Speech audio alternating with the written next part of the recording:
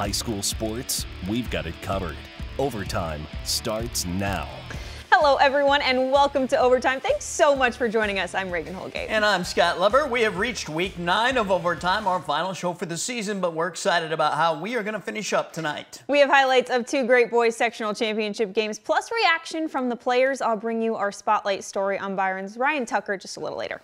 We'll also look back at a historic season for high scoring games by players and a season of scoring records being shattered.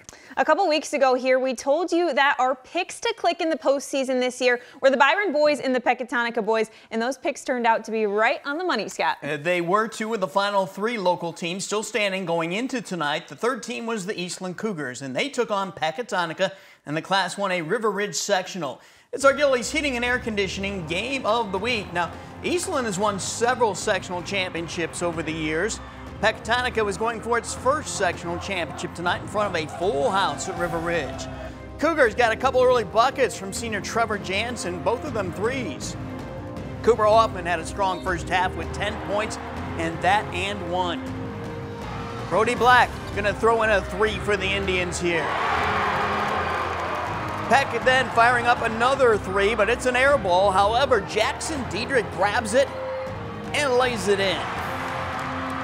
Adam Allwender tacks for the Cougars. He'll feed Tanner Stern, and that's a lay-in. Hoffman then drives, but check out this incredible block by super sophomore Parker Krogman. Those two guys were up there. Diedrich, who was huge tonight, is going to knock down one of his three three balls in the first half. He had an 18-point game. Tyler Bird came off the bench, gave Peck a big boost in the second quarter when he scored seven points. Hoffman's going to drain a three right before halftime, and that made his dad happy. Peck led by 15 at the break. They went up by 18 early in the third, but the Ian Eastland folks stands for effort, and the Cougars brought it on defense. Allwender, the steal, the score. And with time winding down in the third, Allwender, another steal, and another score. How about Allwender again? A steal, the basket, and this time and one to go with it, and the Eastland Cougar was a feeling it. How about another steal? This time by Krogman. Yep, he's going to score too. And the Cougars just kept coming. And then it's Jansen gets a steal. He's going to score, and the Cougars cut that 18-point deficit to only four. But then Hoffman drives. Doesn't get the bucket, but he draws the foul, and he made both of his free throws. And then Diedrich stepped to the line, and he buried a couple free throws and Pecatonica hung on to win it 60 to 50. The Indians celebrate the school's first sectional championship in boys basketball, and they pick up their 31st win, which is a school record. It's awesome. I mean, this team's worked worked their butts off all year. Uh, I mean, we could tell by some, even summer league we were dominating. I mean, I think we kind of expected it, but it's reality now. What's it like to cut the nets and watch your teammates do the same right now as you guys made school history? It feels great, you know. Uh, we've never done this in school history. It just feels great, you know, that we're part of something. Happy for the community, as you can hear. Uh, you know, they're, they're super excited, and we have a great group of kids, great families, great administration, and I'm just happy for all of them more so than anybody. So now it is on to the NIU Class 1A Super Sectional Monday night for Pecatonica. The Indians will play Aurora Christian. These two teams met December 30th at the State Farm Classic in Normal. What a game that was. Aurora Christian won in overtime. That game Monday now going to tip off at 6 o'clock. It's an early start because there will also be a 4A Super Sectional game played there at 7.30. Well, the other local team trying to advance tonight from the Sweet 16 to the Elite 8 was the Byron Tigers in Class 2A. They ran away from their first three postseason opponents. Tonight at the Mendota sectional, the Tigers faced the Princeton Tigers, a team Byron defeated by 15 points a month, a month ago. Princeton's record was only 17 and 15 coming into this game. They knocked off Rockford Christian on Tuesday night, and it was, of course, a battle of the Tigers in this one. And Princeton came out firing. Their big center, Noah Laporte, was tough to slow down in the paint. There he goes with the offensive board and the putback slam. Byron was down six, but then comes Cason Newton flying in for the steal and an easy finish on the other end. The big focus for Byron had to be rebounding the ball, and they made a push on the defensive end. Jack Hively with a takeaway and a dunk to finish it off. He had 16 tonight. Another steal here for the good guys, and they have Ryan Tucker down court who goes for the reverse. And the Tigers are cooking with gas, folks. The defensive effort in the second quarter was honestly just crazy to watch. Newton again here going to force a turnover, and Tucker has another easy two point basket on the board. But hey, here comes Princeton again. First driving effort is no good, but Laporte is there for another putback dunk. Then, with just seconds left until the half, Hively feeds it to Tucker who reaches the rim at the buzzer. Byron led by one at the break, and the fans were absolutely loving it because the Tucker tear was about to begin. Here he goes flying to the hoop with the bank shot. Then he's going to add another fast break bucket right here. The Tigers were rolling in the second half. They held Princeton to just four points in the third quarter. And how about this? Hively with a backwards pass to Tucker under the hoop to keep pouring it on. Tucker finished the night with 26 points, and the Byron Tigers roar to a sectional championship win 59 to 43, the final, their first title in 17 years. The number one thing was rebounds. Rebounds, they were killing us on the boards, and to start the second half, we started boxing out, putting away 23. He was killing us and we shut him down in the second half. I think that's what won us the game. I mean, I haven't been in a lot of playoff games. We have a lot of Last year, regional championship loss. The year before that, regional semifinal loss. So to be able to play in a huge game like this and produce like that, it means a lot. It's great for our basketball program to experience some success, you know, with our football team being so good. But it's just a great senior class, a great group of kids that bought in five years ago to what we were doing, and it's it's a it's a pleasure to coach. Yeah, I mean, this is the best team of boys I've ever played with, and I wouldn't want to do it with anybody else. All right, so here's what's next for the Byron Tigers. They'll play at the 2A Sterling Super Sectional Monday night. They'll face Chicago Latin, which is 21 and 10. That game will start at 7 o'clock. All right, coming up in a bit, I'll have more on Byron's leading scorer, Ryan Tucker, in our Spotlight segment. But up next, this has been the season of scoring records being shattered. We're going to look back at the young men and women who made history at their schools. You're watching Overtime.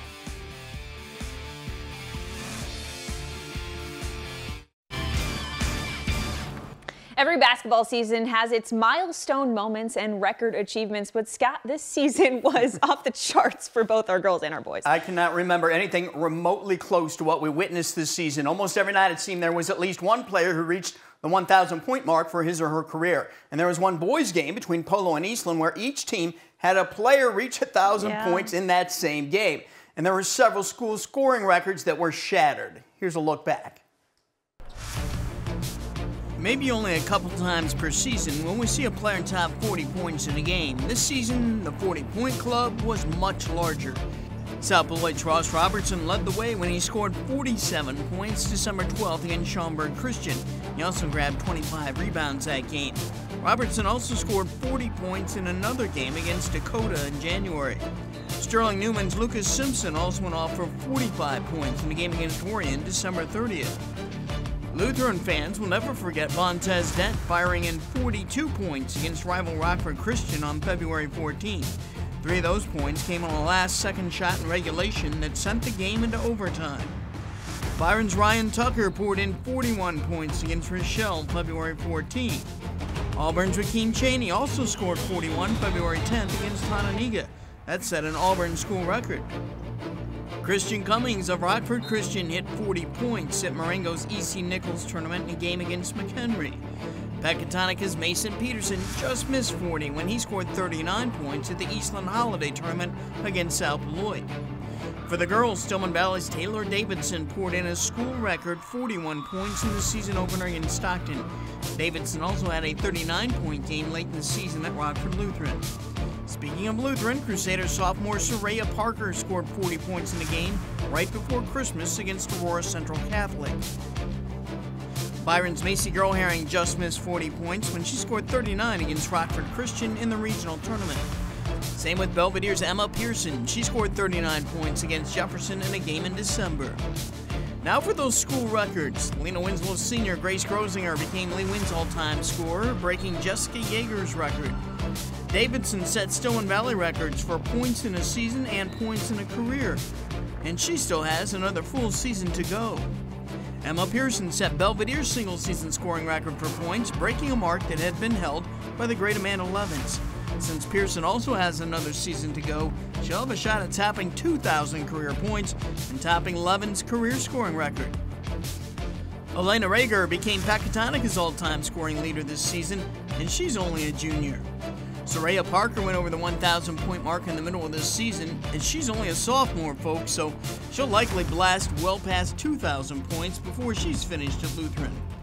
And how many points might current Aquin freshman Peyton London score before her high school days are done? She averaged 21 points per game this season. Average that out over three more years, and we'll need a bigger calculator to add them up. Back to the guys, Darius Harrington set a single season scoring record at Dixon, and he's only a junior. Sterling Newman's Lucas Simpson became his school's all time scorer this season, going over 2,000 points. Ryan Tucker became Byron's all time leading scorer with more than 1,300 points back on February 9th, breaking a record that had stood since 1956. And then there's Ross Robertson again. He broke Peter Scalia's career scoring record that had stood for almost 40 years. Robertson has already blown past the 2,000 point mark, and he still has another year to go with the Sobos.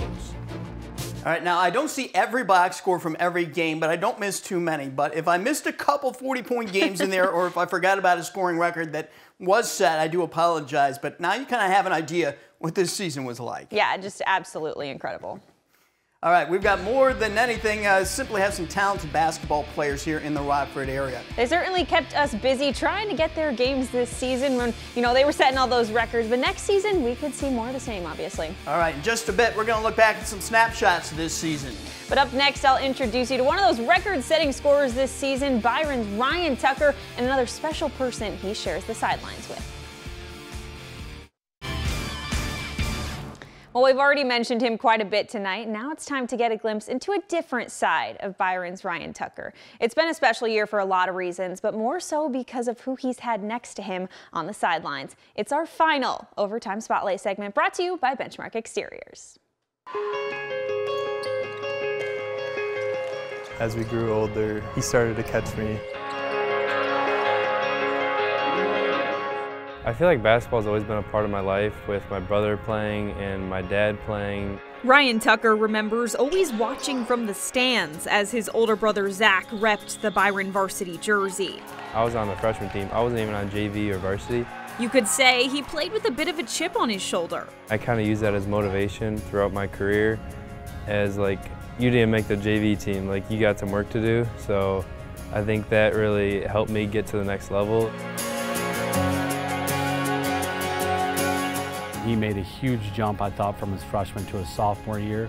Now, fast forward to his senior year, Ryan is averaging around 22 points and 7 rebounds a game as Byron's leading scorer. I've developed my game to where I am a three-way scorer where I can go shoot a mid-range, you know, go to the hoop or shoot a three, and I think that's made it tough to guard. And there's been one special person on the sidelines cheering him on the entire way. Hey, Ryan! I think as we grew older, we kind of realized like this is my brother. Like, I mean, we're gonna do everything together. He's my best friend. His older brother Zach played college basketball for two years at Dubuque before coming home, and now he's one of Byron's assistant coaches. I like it. I think I get on him pretty well. I know how to fire him up. I don't know how much he likes it, but it's, it's awesome. He's been my biggest motivator for everything, whether we're just like in the backyard or front yard shooting hoops or I mean playing video games. It's always a competition between us, and I'm always trying to be better than him and he's trying to be better than me. But their relationship goes beyond the competition. At the end of the day, they just want to see each other succeed.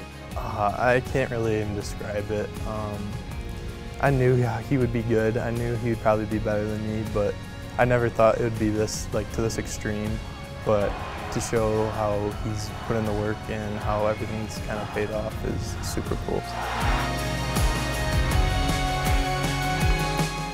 That was one of the main reasons Zach decided to come home, so he could spend more time with his family and watch Ryan finish out high school.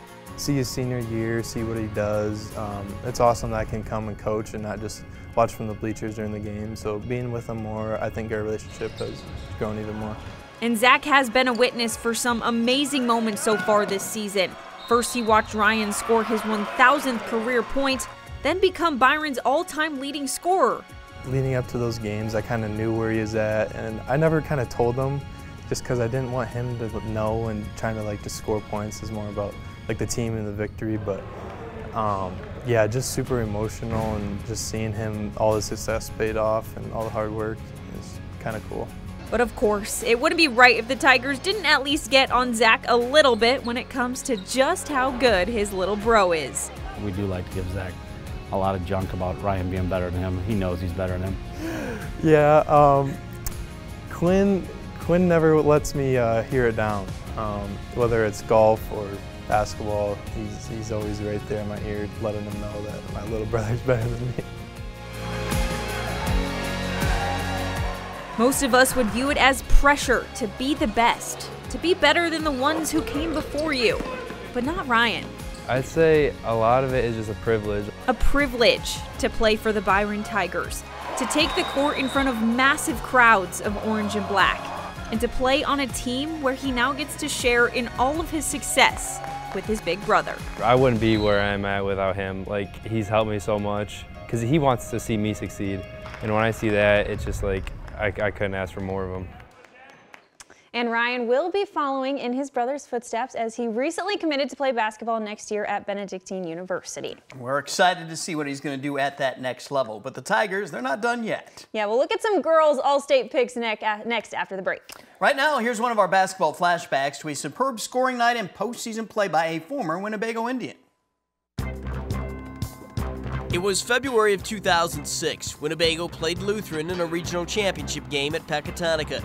This was Devin Ballwinkle's senior season for Bago, and on this night, in a tight game, he put his team on his shoulders and carried it. Ballwinkle erupted to score 51 of Winnebago's 72 points. At one stretch, he scored 32 consecutive points for his team. Winnebago edged Lutheran 72 to 68. Two of the NIC-10 standout girls basketball players have received one of the highest honors they could get. Boylan's Lily Esparza and Belvidere's Emma Pearson earned All-State recognition this week from the media in Illinois. Esparza is a senior. She was named to the Class 3A All-State second team. The 6'2 center averaged 19 points and 11 rebounds per game. She helped the Lady Titans to 25 wins. She'll continue her career in college at the D1 level next season at Denver.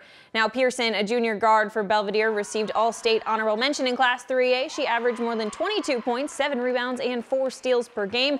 Pearson also set Belvidere's single season scoring record. In Class 2A, Stillman's Taylor Davidson made the All-State first team. She was so strong down the stretch this season. Her Stillman Valley teammate Maya Jansen earned honorable mention All-State, and Byron sophomore Macy Girl-Herring also earned honorable mention in 2A. In Class 1A, three girls made the All-State second team, Whitney Sullivan of Orangeville, Elena Rager of Pecatonica, and Peyton London of Aquin. Grace Grosinger of Lena Winslow and Soraya Parker of Rockford Lutheran earned honorable mention. So congratulations to all the girls. Well, the basketball season starts in mid-November, runs here through the start of March. It's a long stretch, so so many things happen. Yeah, and we thought we'd, you know, show you some snapshots from the action and help tell the story of the season.